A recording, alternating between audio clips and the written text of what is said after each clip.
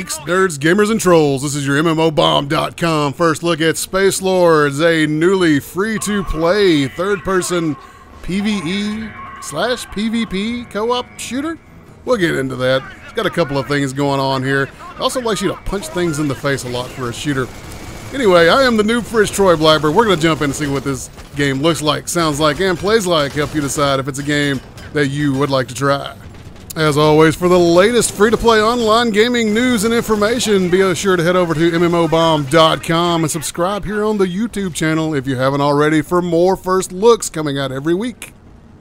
So, Spacelords, this is going to look familiar to some of you guys. Uh, this launched in September of 2017, I believe, as a pay to play game called Raiders of the Broken Planet.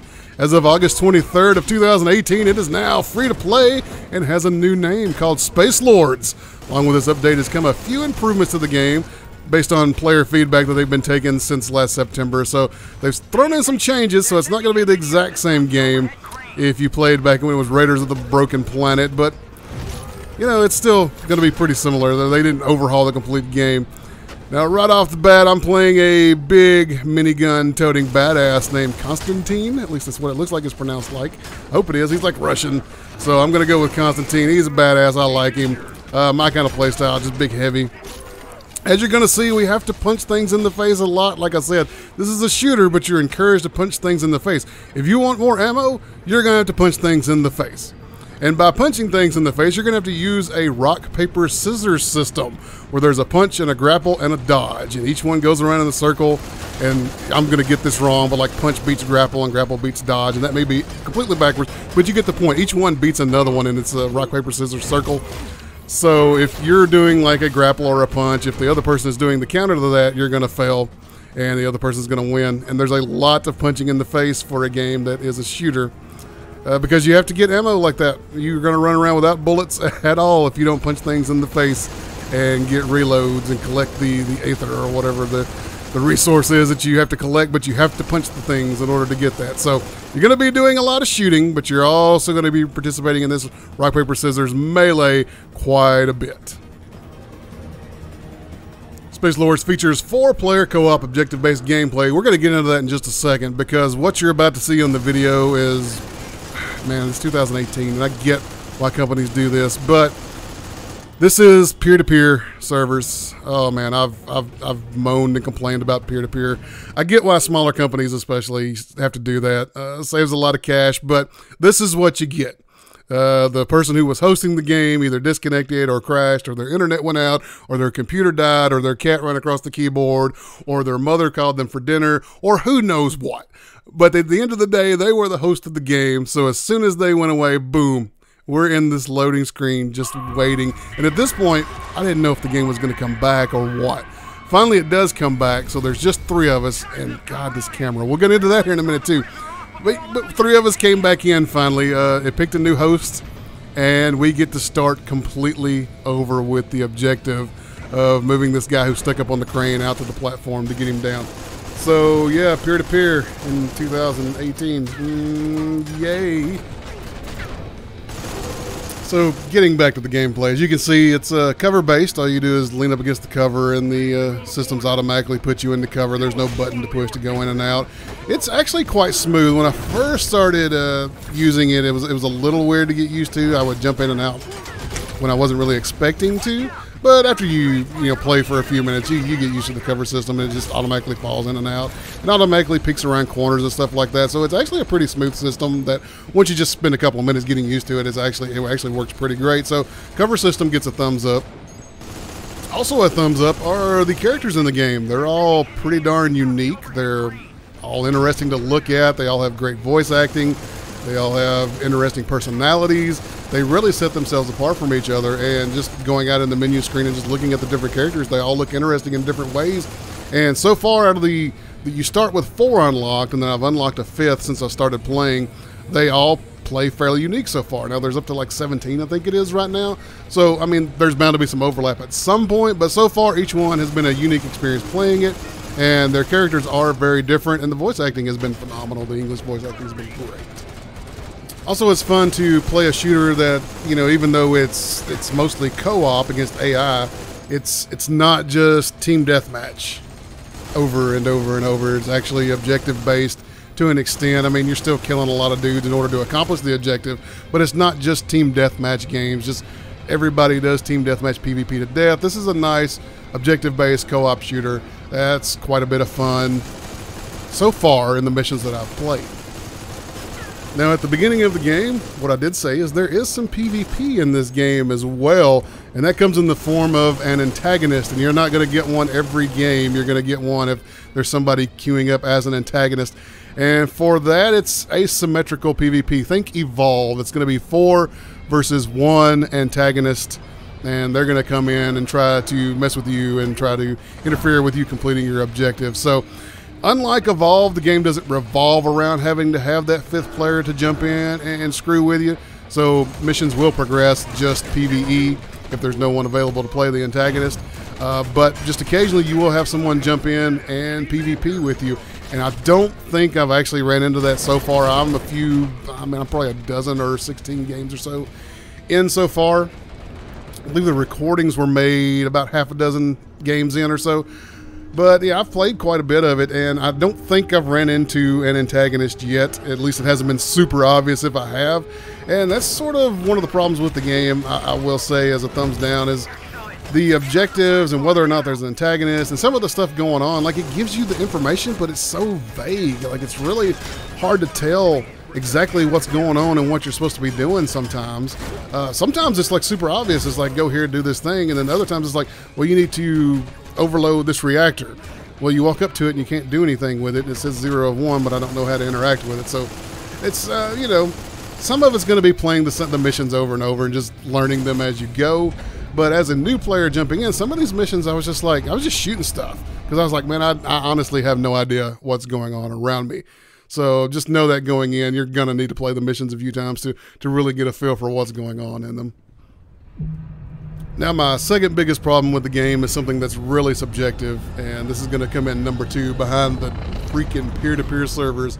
But the camera shake, oh my god, we're watching a cutscene right now. Even the even the cutscenes have to camera shake. There's just they they they cut back and forth between different perspectives constantly in the cutscenes and this camera shake.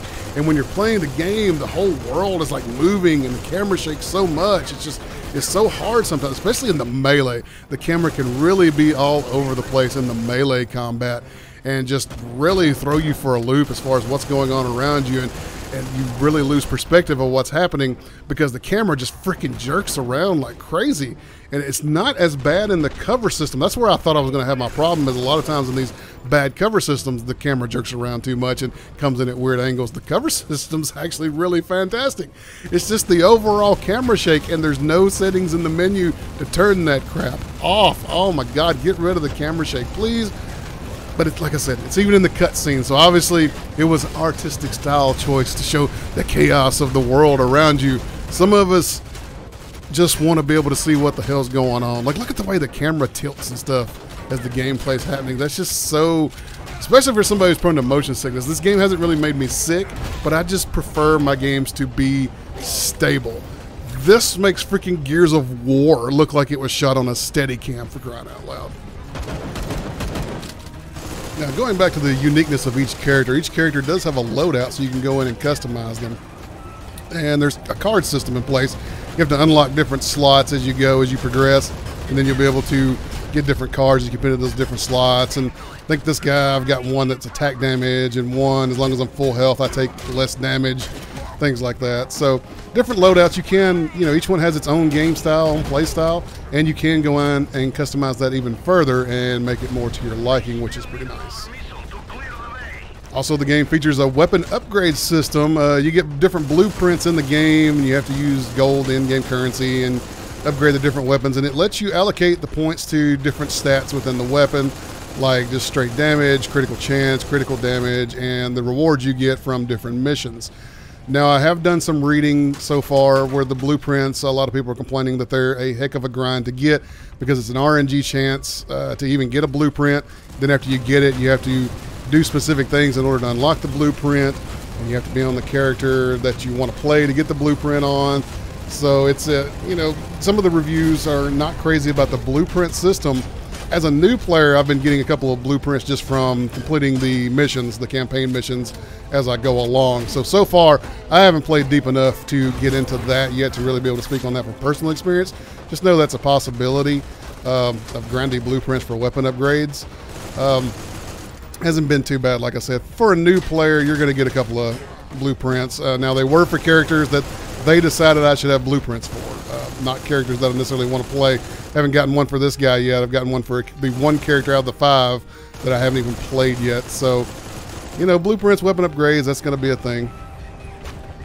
And character unlocks are tied to the progression system. You have to level up at certain levels. You'll have the ability to spend gold, the in-game currency, to unlock certain heroes. So you can't just save up gold and then get whichever hero is next. You've got your eye on that you want to try next. You have to be a certain level to unlock certain heroes. All the newer ones are higher level to unlock. The first guy unlocked at like level six. The next one unlocks at like level eight. And then there's like one at level 13 and so on like that. And then there's some of the newer ones don't unlock to your like level, your account's level like 52 or something. And then you have to use the in-game gold too. And each set of heroes are part of a different faction. There's like four different factions for the Raiders. So like Constantine is a member of the fourth faction, and I don't know the name of it. You just have to forgive me for that. So if I want anybody else in that faction, I have to have faction points from that faction. So I have to play other characters in that faction to accrue those faction points at the end of the game and progress that way. So you got to level up, and if you've got somebody you want your eye on, you got to get the right level, and you've got to have enough faction points within that faction, which means you could also be stuck maybe playing some characters you don't necessarily want to play in order to get to the ones that you do. So just know that going forward, you're not going to be able to save up currency and unlock the guy you want. Uh, there's a system in place that's a little restrictive as far as that's concerned, which is something I'm not a fan of personally, uh, but maybe some of you don't care as much. And best I can tell, there's no direct purchases of these characters. There's the progression system you can unlock with in-game currency, and then there's two available on the Steam store for direct purchase. They come with a character unlock and like a rare blueprint for their weapon. They are freaking, let me look right now. They are $34.99 a piece. $34 and $35 US dollars to unlock a character and a blueprint. It says that the blueprints are approximately 30 hours of gameplay depending on your playing style. Blah, blah, blah. Um, based on some of the reading I've done, maybe more than 30 hours to get a blueprint. But yeah, 35 bucks. And there's only two of them available. Uh, the two newest ones Valeria and some other dude. Yeah, $35 a piece. So, you know, if you really like this game, uh, just, just, don't spend that much. That's $35 for a character. I'm like, holy Jesus. There are skins in the game. I don't have any now. Um, there's a cash currency that you can purchase, and you can unlock skins and some other items. You can also convert that cash currency into the in-game gold. So you can spend money to help if you have a gold shortage as far as unlocking cards or characters and stuff like that, you can convert uh, your cash currency into the gold, but no direct purchases of characters that I've been able to see so far. But yeah, objective-based gameplay, customization, lots of customization. You can customize your weapons, like I said, with the stats that you want. You can customize your character with loadouts to play in the style that you want. There's there's a lot of good things going here. It's a it's an almost game, man. They're so close. Uh, things like the peer-to-peer, the, the weird camera shake. Uh, some of the complaints I've read about grind and stuff like that can be off-putting. The progression system, the way that certain characters are locked behind certain factions, you can't just choose the character you want next. Some of those are thumbs down, man. But there's a lot going on here that's actually kind of exciting. At the end of the day, I don't know with the camera shake and the peer-to-peer and the the not be able to unlock like a guy that I want like if I see one that I'm interested in, I can't just save up the currency and unlock him. I've really got to grind it out to get to certain ones. I don't know that in the long term this is something I'm going to keep on my computer for now, but I can't say that I didn't have fun while I was playing to to get the first look footage. Uh, I definitely did enjoy my time. There was a lot of fun stuff going on, and you know I don't have a ton of bad things to say about the gameplay itself. Um, now here's, I think this is the part where you see the big, yes, this dude absolutely wrecks my face. These big elite dudes, man, you gotta be careful with those. You can't just melee them when they're at full health. They will wreck you. And I think this is the section of footage where I have to learn that lesson the hard way because I get wrecked several times in a row by those guys. So we're going to jump ahead a little bit because uh, this video is actually quite long, especially with the, the disconnect there. It added several minutes uh, onto the gameplay. So we're just going to jump to the end screen and let you see getting the rewards and stuff. And uh, story mode, man, there's like there is good story in the game. They've done a great job with cutscenes, and like I said, the voice acting has been good. The characters are unique, have a lot of personality. So at the beginning and ending of each game, there's cutscenes to watch. Lots and lots of cutscenes to watch. Luckily, you can skip those as a group as long as everybody agrees to skip them. And back when this game was Raiders of the Broken Planet, you split rewards at the end of the game. Now everybody gets their own rewards based on their performance in the game. So 6.5 out of 10. That wasn't my greatest. I got wrecked by some of those elite dudes quite hard for a while, which probably didn't help my score any. But yeah, I got some in-game gold, got some faction currency. I mean, what's the point of playing the game if you're not going to get some sweet, sweet loots at the end, right? Anyway, that dude's gonna walk off screen and we're gonna jump out and take a look at what's next. So let's jump out to the menus real quick. That way you can see what that looks like. Get your rewards at the end of the game. Good old loot boxes. I haven't seen any way to purchase like these loot boxes, and I don't know if these are just random or if it's set rewards from the end of every game or not. But it it's presented like a loot box, whether it is or not. So um, yeah, in, in this video we just hit level four. Looks like I'm level I'm level eight now. I think I can unlock the the next guy, the next hero that I can unlock. So we're gonna go in and check out some of the like this is the hideout. This is where you can see all your characters, unlock characters, and there's the loadout. There's the cards you can put in, and I think yeah, put in a card here, and got to spend faction points to do that as well. So you're going to be spending lots of your currency on different things. So save up that currency, both the faction points and the gold. You're going to be using quite a bit as you go along to unlock new characters and customize the ones that you have. As you can see, I've got a damage and a reduction of damage. And then he's, he's got a deck of cards you can look at that you've unlocked so far. Go up and take a look at that. Here's the ones that I have unlocked so far. As you level up, you're going to get access to more cards that you can use. Now, I did misspeak a little bit earlier when I said you had to use specific faction points to unlock characters within the faction. That's not actually the case. You use the in-game gold to unlock those characters.